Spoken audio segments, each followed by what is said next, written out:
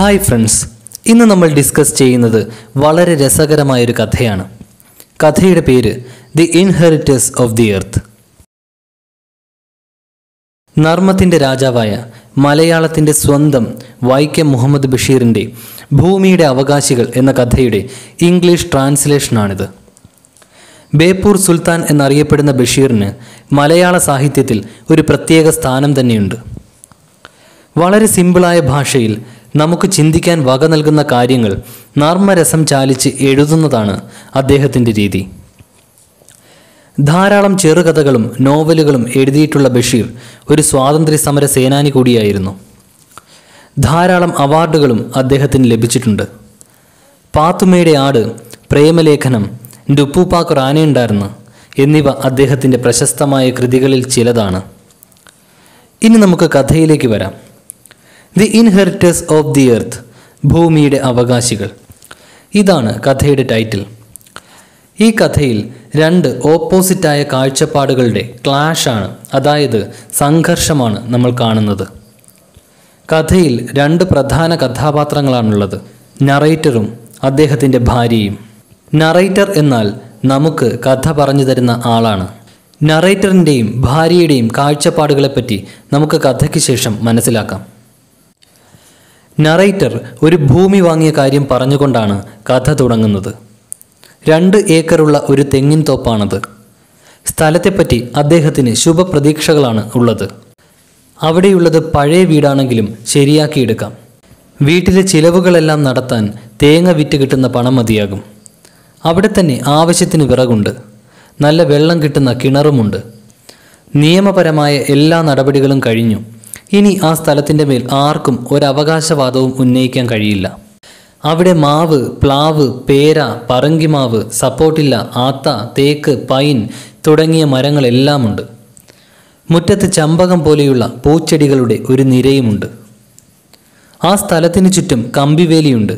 മുൻവശത്തെ ഗേറ്റ് സ്റ്റീലാണ്. ഗേറ്റിന് ഇരുവശത്തും കടലാസ് ചെടികൾ പൂ പിടിച്ചു നിൽക്കുന്നു. ഗേറ്റ് മുതൽ വീടിന്റെ വാതിൽ വരെ വെള്ള മണ്ണിട്ടിരിക്കുന്നു വീടിന് കാവലായി ഒരു ഭയങ്കരനായ പട്ടിയുണ്ട്. അവിടെ ആട് പശു കോഴി പൂച്ച തുടങ്ങിയവയുമുണ്ട്. ഇതൊന്നും കൂടാതെ നറേറ്ററിന്റെ ഭാര്യയും കുട്ടികളുമുണ്ട്. ഇവരുടെ എല്ലാം ജീവിതം തേങ്ങയെ ആശ്രയിച്ചാണ്. തെങ്ങുകളെല്ലാം നല്ല രീതിയിൽ പരിപാലിക്കപ്പെടുന്നുണ്ട്. അവ നല്ല വിളവും തരുന്നുണ്ട്. കാര്യങ്ങൾ ഇങ്ങനെയൊക്കെയാണ്. എന്നാൽ ആ ഭൂമിയുടെ അവകാശി താൻ മാത്രമാണോ എന്ന് നറേറ്ററിന് ഒരു സംശയം. ഗവൺമെന്റിനെയും ആധാരത്തെയും ഒന്നും ബഹുമാനിക്കാത്ത കുറേ പേരുണ്ടല്ലോ. അങ്ങനെയുള്ള അവകാശികളിൽ ആദ്യം വന്നത് പക്ഷികളും ചിത്രശലഭങ്ങളുമായിരുന്നു മനുഷ്യരുണ്ടാകുന്നതിന് വളരെ കാലം മുമ്പ് തന്നെ അവർ ഈ ലോകത്തിന്റെ അവകാശികളായിരുന്നു. എന്നാൽ അവരിൽ കാക്കകളെ നറേറ്ററിന് ഇഷ്ടമല്ലായിരുന്നു. കാരണം അവ അടുക്കളയിൽ നിന്ന് ഭക്ഷണം മോഷ്ടിക്കും. അവിടെ രണ്ട് തെങ്ങുകളിലായി അവ കൂടുകൂട്ടി മുട്ടയിട്ടിട്ടുണ്ട്. അവയുടെ കരച്ചിലും അസഹനീയമാണ്. കാക്കയും പരുന്തും കോഴിക്കുഞ്ഞുങ്ങളെ റാഞ്ചും. കോഴികളെ പിടിക്കാൻ തക്കം പാർത്തിരിക്കുന്ന കീരിയും കുറുക്കനുമുണ്ട്. ഒരു ദിവസം ചിറകും കാലും ഒന്നുമില്ലാത്ത ഒരു ഭീകരജീവി അവിടെ പ്രത്യക്ഷപ്പെടുന്നു. ഒരു പാമ്പ്. പട്ടിയുടെയും കോഴികളുടെയും ബഹളം കേട്ട് നറേറ്റർ ഇറങ്ങിച്ചെല്ലുന്നത് ഒരു ഉഗ്രൻ മൂർഖന്റെ മുന്നിലേക്കാണ്. പാമ്പും മനുഷ്യനെ പോലെ തന്നെ ഈ ഭൂമിയുടെ അവകാശി തന്നെയാണ്. എന്നാൽ ഈ ഭൂമി മുഴുവൻ മനുഷ്യൻ സ്വന്തമാക്കി വെച്ചിരിക്കുകയാണ്. അപ്പോൾ പിന്നെ പാമ്പുകൾ എവിടെ പോകും? അവയും ജീവിച്ചോട്ടെ. അവയ്ക്ക് വിഷമുള്ളതിനാൽ നമ്മൾ ശ്രദ്ധിക്കണമെന്ന് മാത്രം. അല്പനേരം പത്തി വിടർത്തി നിന്നതിന് ശേഷം പാമ്പ് ഇഴഞ്ഞു പോകുന്നു. ബഹളം കേട്ട് നറേറ്ററിന്റെ ഭാര്യ അങ്ങോട്ടേക്ക് വരുന്നു. പാമ്പിനെ തല്ലിക്കൊല്ലാഞ്ഞതിൽ ആ സ്ത്രീ അയാളെ കുറ്റപ്പെടുത്തുന്നു. കാരണം അവിടെ കുട്ടികളുള്ളതാണല്ലോ. ജീവൻ സൃഷ്ടിക്കാൻ നമുക്ക് കഴിയാത്തതിനാൽ മറ്റ് ജീവികളെ കൊല്ലാതെ നമ്മൾ ജീവിക്കണമെന്ന് നറേറ്റർ പറയുന്നു. അവരുടെ വീടിന്റെ ഉള്ളിൽ എല്ലായിടവും ചിലന്തിയും പല്ലിയും ഓന്തും തേളും ഉണ്ട്. വേലിയും പുസ്തകങ്ങളും തുണികളുമൊക്കെ ചിതൽ തിന്നുന്നു. എലി റേഡിയോയുടെ വയർ മുറിക്കുന്നതുൾപ്പെടെയുള്ള ബുദ്ധിമുട്ടുകൾ ഉണ്ടാക്കുന്നു. വീട്ടിലെങ്ങും ചീവീടും ഉറുമ്പുമുണ്ട് നറേറ്റർ ഈ ജീവികളെയെല്ലാം ആരാധിക്കുന്നു എന്ന രീതിയിൽ ഭാര്യ കുറ്റപ്പെടുത്തുന്നു. എന്നാൽ അയാൾ ഒന്നിനെയും ആരാധിക്കുന്നില്ല. ചിലർ പാമ്പിനെ ആരാധിക്കുന്നു. ഒരു ദൈവത്തിന്റെ വാഹനമാണ് എലി. മറ്റു ചില മൃഗങ്ങളെ ആരാധിക്കുന്നവരുമുണ്ട്. ചിലരാണെങ്കിൽ ഭൂമിയെ ദേവിയായും സൂര്യനെയും ചന്ദ്രനെയും ദേവന്മാരായും കാണുന്നു. ചിലർക്കാകട്ടെ ഈ ഭൂമി പരന്നതാണ്. വിശ്വാസങ്ങൾ അങ്ങനെ പലതാണ്.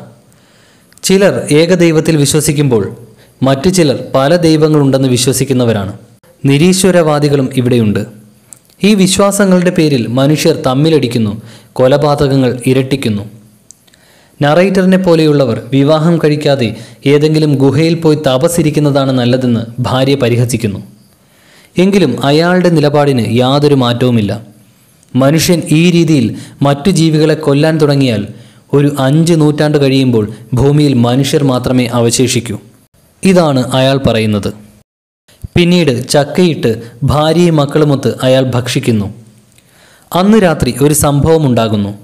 അത്താഴമൊക്കെ കഴിച്ച് ഭാര്യയും മക്കളുമൊക്കെ കിടക്കുന്നു. എന്നാൽ നറേറ്റർ അല്പം വായിച്ചതിന് ശേഷമാണ് ലൈറ്റ് ഓഫാക്കി കിടന്നുറങ്ങിയത്. പെട്ടെന്ന് കയ്യിൽ വലിയ വേദന തോന്നി അയാൾ ഉണരുന്നു. ഭാര്യ ബെഡൊക്കെ തല്ലിക്കുടഞ്ഞു നോക്കിയപ്പോൾ പഴുതാരയാണ്. ആ സ്ത്രീ അതിനെ കൊന്ന് പുറത്തേക്ക് വലിച്ചെറിയുന്നു. അപ്പോഴുണ്ട് മറ്റൊരു ദുരന്തം. മുപ്പത് കരിക്കുകൾ വീണ് കിടക്കുന്നു. അവയുടെ ഒരു ഭാഗത്ത് ഹോളുമുണ്ട്. എലികളാണിതിന് പിന്നിലെന്നും അവയെ കൊല്ലണമെന്നും നറേറ്ററിന്റെ ഭാര്യ തീരുമാനിക്കുന്നു. മനുഷ്യന്റെ നിലനിൽപ്പിന് എലിയെ കൊല്ലണം. മറ്റുള്ളവയെ കൊല്ലാതെ ജീവിതം സാധ്യമാണോ? പാമ്പ് തവളയെയും എലിയെയും കൊന്നു തിന്നുന്നു. വലിയ മത്സ്യങ്ങൾ ചെറുതിനെ വിഴുങ്ങുന്നു. കുറുക്കൻ കോഴിയെ തിന്നുന്നു. മനുഷ്യനാകട്ടെ മത്സ്യവും കോഴിയും മാംസവും ഒക്കെ ഭക്ഷിക്കുന്നു. മൂട്ടകൾ ജന്തുക്കളുടെ രക്തം കുടിക്കുന്നു. കുടലിൽ വിര വളരുന്നു. ഒന്ന് ജീവിക്കുന്നത് മറ്റൊന്നിനെ നശിപ്പിച്ചിട്ടാണ്. എന്തിനു പറയുന്നു? സുന്ദരമായ റോസാപ്പൂവിനെയും കീടങ്ങൾ ഭക്ഷിക്കുന്നു. ഭൂമിയിലെ ജീവിതം ഒരു കടങ്കഥ തന്നെയാണ്. നറേറ്റർ ആകെ കൺഫ്യൂഷനിലാകുന്നു. പലതവണ എലിവിഷം വാങ്ങി നൽകണമെന്ന് ഭാര്യ ആവശ്യപ്പെട്ടിട്ടും അയാൾ വഴങ്ങാതിരുന്നതുകൊണ്ട് ആ സ്ത്രീ തന്നെ അത് വാങ്ങാൻ തീരുമാനിക്കുന്നു. പണമില്ലെന്ന് പറഞ്ഞ് അയാൾ രക്ഷപ്പെടാൻ ശ്രമിച്ചെങ്കിലും വായ്പ വാങ്ങിക്കൊള്ളാമെന്ന് ഭാര്യ അറിയിക്കുന്നു. അങ്ങനെ തേങ്ങാ കച്ചവടക്കാരന്റെ പക്കൽ നിന്നും വായ്പയും വാങ്ങി വലിയ ഒരു കുപ്പി എലിവിഷവുമായി നറേറ്ററിന്റെ ഭാര്യ രണ്ട് മണിക്കൂറിന് ശേഷം തിരികെ വരുന്നു. ആദ്യം പല കടകളിലും പോയെങ്കിലും എലിവിഷം കിട്ടിയില്ല. ഗവൺമെന്റ് നിരോധിച്ചത് കാരണം അതിന് സ്പെഷ്യൽ സാങ്ഷൻ വേണമായിരുന്നു. അവസാനം ഒരു ഫ്രണ്ടിന്റെ ഭർത്താവിന്റെ ഓഫീസിൽ നിന്നാണ് അത് സംഘടിപ്പിച്ചത്. അങ്ങനെ എലി തിന്നുന്ന ഭക്ഷണ സാധനങ്ങളിൽ വിഷം കലർത്തി അത് പല സ്ഥലങ്ങളിലായി അവർ വയ്ക്കുന്നു നാലഞ്ച് ദിവസത്തിനകം അഞ്ച് കോഴി പന്ത്രണ്ട് അണ്ണാൻ ഏതാണ്ട് ഇരുന്നൂറോളം എലികൾ ഒരു പൂച്ച ഇത്രയും ചത്തു. വീടിന്റെ മുകളിൽ പല ഭാഗങ്ങളിലും എലികൾ ചീഞ്ഞു നാറാൻ തുടങ്ങി. എന്നിട്ടും കരിക്ക് വീണുകൊണ്ടേയിരുന്നു. രണ്ടു മാസങ്ങൾക്ക് ശേഷം ശരിക്കുമുള്ള കള്ളന്മാരെ കണ്ടെത്തി. വവ്വാൽ. അവ കൂട്ടമായി വന്ന് കരിക്കിന് ദ്വാരമുണ്ടാക്കി വെള്ളം കുടിച്ചതിന് ശേഷം തൃപ്തിയോടെ മടങ്ങുന്നു. അവയെ ഓടിക്കാൻ പല പണികളും നോക്കി. മുള്ളുള്ള വള്ളിച്ചെടികൾ കൊണ്ട് കരിക്കിനെ പൊതിഞ്ഞു. പടക്കം പൊട്ടിച്ചു. ഈറയും കല്ലും ഇരുമ്പും പാട്ടയും കൊണ്ട് തെങ്ങിലടിച്ച് സൗണ്ട് ഉണ്ടാക്കി. കോലമുണ്ടാക്കി തെങ്ങിൻ മുകളിൽ വെച്ചു. എന്നാൽ ഇവയൊന്നും വവ്വാലുകളെ ഓടിച്ചില്ല. ആളുകൾ ഉറങ്ങുമ്പോൾ അവ വന്ന് കരിക്ക് കുടിക്കും. നറേറ്ററിന്റെ ഭാര്യയും കുട്ടികളും വീണ് കിടക്കുന്ന കരിക്ക് പെറുക്കിക്കൂട്ടി ഒരു കൂനയുണ്ടാക്കുന്നു.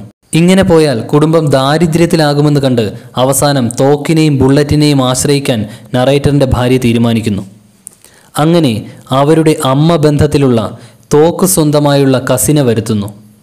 അടുത്തുള്ള അമ്പലത്തോട് ചേർന്നുള്ള രണ്ട് അരയാലുകളിലാണ് വവ്വാലുകൾ തൂങ്ങിക്കിടക്കുന്നത്. രണ്ട് മൂന്ന് ദിവസം കൊണ്ട് എല്ലാറ്റിനെയും അവിടെ വെച്ച് കൊല്ലാമെന്ന് അയാൾ പറയുന്നു. അങ്ങനെ നറേറ്ററിന്റെ ഭാര്യയും ഒരു ഫ്രണ്ടും ഗൺമാനോടൊപ്പം അങ്ങോട്ടേക്ക് പോകുന്നു. എന്നാൽ അവർക്ക് നിരാശരായി മടങ്ങേണ്ടി വരുന്നു. കാരണം അമ്പലത്തിന്റെ പരിസരത്തുള്ള ഏകദേശം മുന്നൂറോളം ആളുകൾ അവരെ വളഞ്ഞു. ആ വവ്വാലുകൾ അവരുടെ പൂർവികരുടെ ആത്മാക്കളാണെന്ന്. അതുകൊണ്ട് തന്നെ അവയെ കൊന്നാൽ കഷ്ണം കഷ്ണമാക്കുമെന്ന് ആ ആളുകൾ പറഞ്ഞു. നറേറ്ററിന്റെ അഭിപ്രായം ഇതാണ്. വവ്വാലുകൾ ആരുടെയും പൂർവികരല്ല. അവർക്ക് വേണ്ട കരിക്ക് അവർ എടുത്തോട്ടെ? അവരും ഭൂമിയുടെ അവകാശികളാണല്ലോ. ഇത്രയുമാണ് കഥ.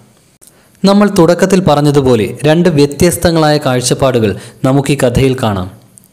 നറേറ്റർ വിശ്വസിക്കുന്നത് മനുഷ്യനുള്ള അതേ പ്രാധാന്യം മറ്റ് ജീവജാലങ്ങൾക്കുമുണ്ടെന്നാണ് അദ്ദേഹത്തിന്റെ അഭിപ്രായത്തിൽ അവരും ഭൂമിയുടെ അവകാശികളാണ്.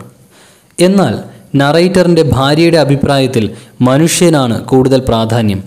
മനുഷ്യന്റെ സുഖത്തിനും സുരക്ഷയ്ക്കുമായി മറ്റ് ജീവികളെ കൊല്ലുന്നതിൽ തെറ്റില്ല എന്ന വിശ്വാസക്കാരിയാണ് ആ സ്ത്രീ. ഈ രണ്ട് കാഴ്ചപ്പാടുകളുമാണ് നർമ്മം ചേർത്തുകൊണ്ട് ബഷീർ വളരെ രസകരമായി അവതരിപ്പിച്ചിരിക്കുന്നത്. ഈ പാഠം നിങ്ങൾക്ക് മനസ്സിലായി എന്ന് പ്രതീക്ഷിക്കുന്നു. അങ്ങനെയെങ്കിൽ തീർച്ചയായും വീഡിയോ ലൈക്ക് ചെയ്യുക. ഒപ്പം നിങ്ങളുടെ സുഹൃത്തുക്കൾക്ക് കൂടി ഷെയർ ചെയ്യുക. തുടർന്നും ഇത്തരത്തിലുള്ള വീഡിയോസ് ലഭിക്കുന്നതിനായി ചാനൽ സബ്സ്ക്രൈബ് ചെയ്യുക. താങ്ക്